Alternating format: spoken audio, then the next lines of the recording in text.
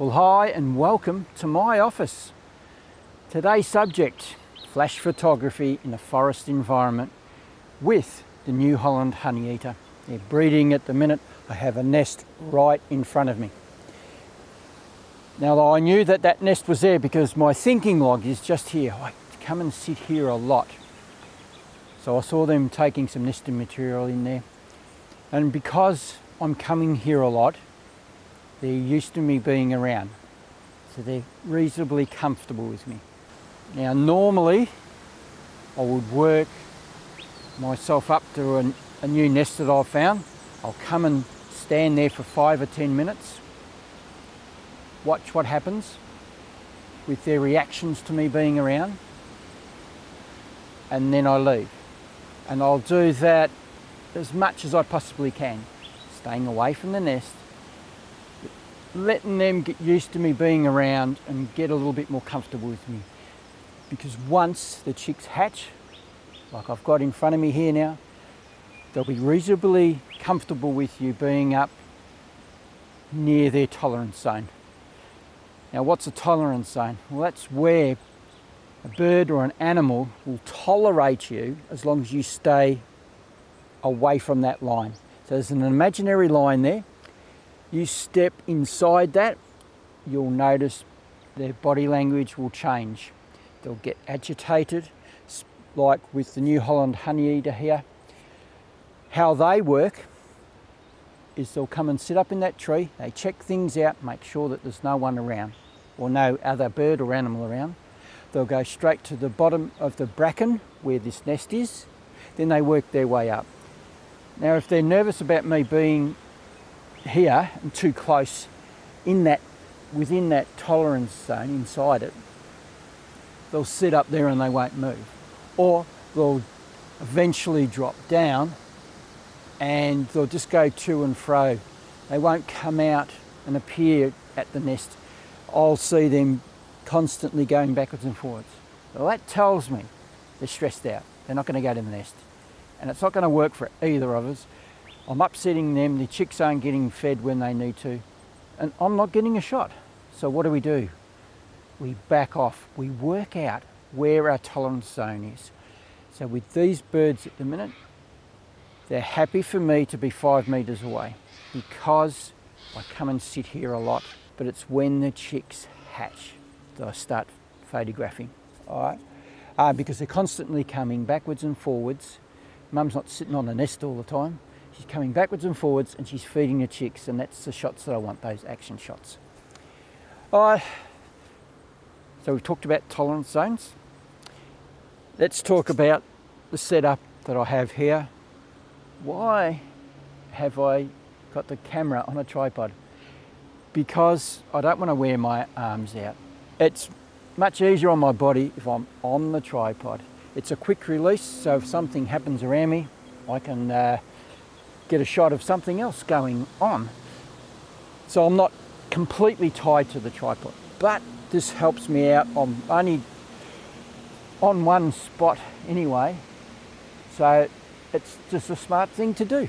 All I have to do is just get onto here with as little movement as possible, not scaring mum. Now next we have our camera set up. Why the hell have I got a flash on? A forest environment we have dynamic range problems. Occasionally, like this nest here, it ends up in beautiful full-on sun at a certain time of day. It's very rare to get that, but here I have it. it. This morning I took a couple of shots without any flash on. And that's great, that's what I prefer. We get really nice exposure. Everything looks natural and it looks really good. But even using a flash, most people aren't going to know that a flash was in, involved. It looks like natural light anyway.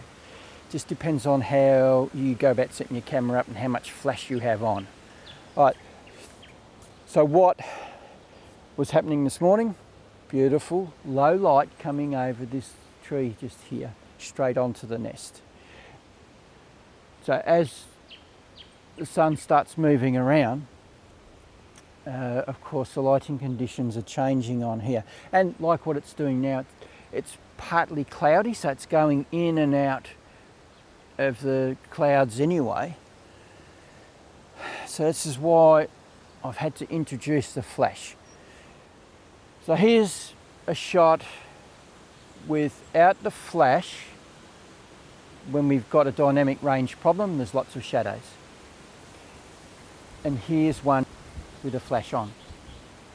So we, we're taking away the deep shadows and we're introducing, oh, we've got both mum and dad there, so they're quite comfortable with me, even though I'm talking, so just hang on a sec.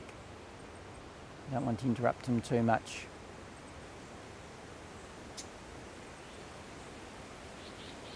Okay, now let's have another look at a different way of setting up when there's harsh sunlight coming up because now that the sun is right up high on a higher angle, now it's a very intense light, but it's still very filtered, so it's hitting spots around the nest on different plants that are reflective surfaces. So to compensate for that, I am exposing for that. So I've turned my uh, ISO right down. I've I'm not touching my shutter speed, that stays fixed, which we'll talk about in a minute.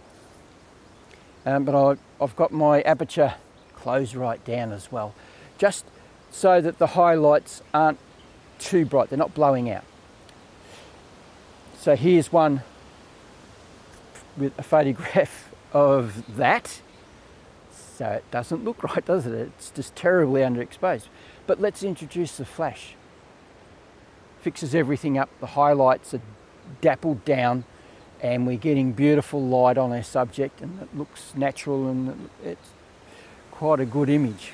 Now it's time to talk about how I have the flash set up.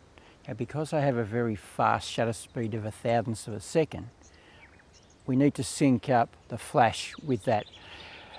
So I put it into high speed sync mode so on our flash, this is for a Canon camera flash, there's a H with a lightning strike symbol. So we set it to that, so it syncs up with that. Thousandths of a second shutter speed. If we didn't do that, it would go into a default mode, which is uh, 200th or 250th of a second. So just override what I've set up on the camera.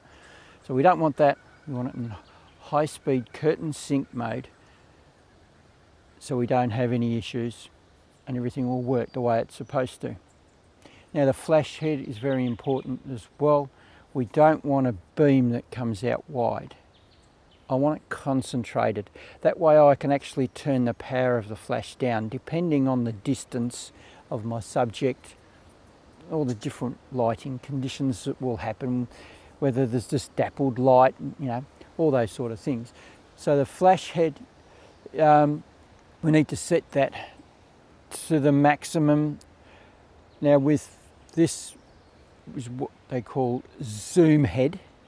I've set the zoom head to as high as it'll possibly go, which is set for a 200 millimeter lens. Mine's a 300 millimeter lens, but that's as far as it'll go. So that'll give me that beam. We're just concentrating our beam on a section there.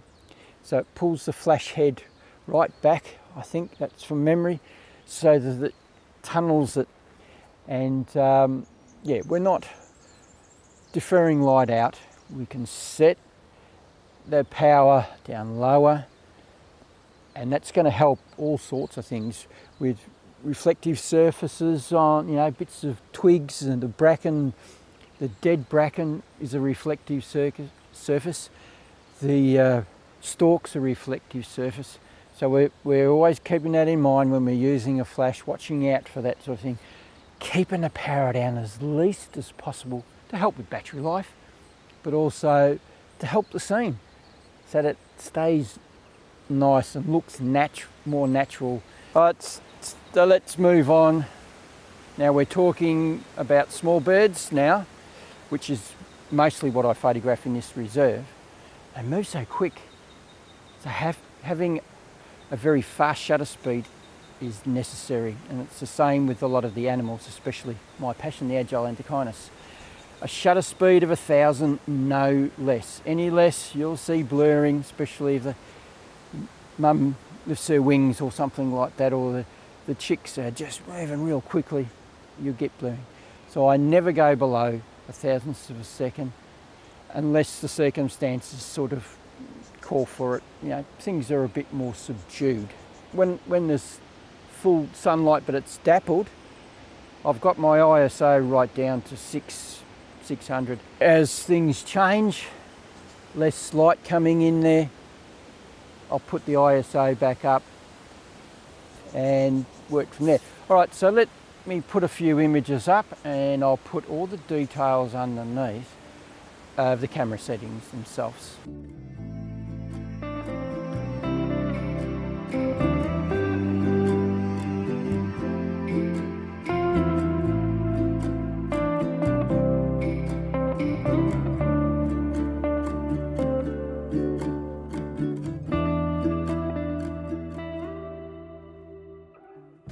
That's how I'm setting up in a forest environment when we've got dynamic range problems, which is 99% of the time, using a flash to alleviate all the hassles of blown out highlights on particular parts of the, the image and the rest would be in darkness. So introducing the flash to fix that up.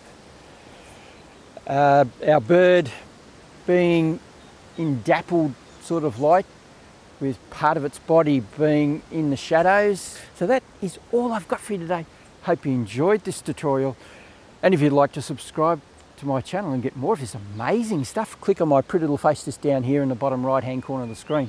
Hit the little bell, you'll get notification whenever I do anything else. And if you want to go and have a look at all the mad and crazy things I've been doing in the past, click on my icon right here. It'll take you to my channel at the end of this video. It'll take you to my channel there's well over 100 videos there to choose from. I do these sort of tutorials every now and then. Plus, uh, if I get any new camera gear, I'll review it and give you my honest opinion. When I go on adventures, I take you with me. I also are known for doing some uh, slightly comedical uh, videos as well, dad's joke stuff. So go and have a browse, there'll be something there of interest to you, I am sure. Now just remember, if you don't do, you don't get. So get out there and start photographing and filming wildlife and stay away from that coronavirus. Stay safe and I'll catch you on the next one. Bye.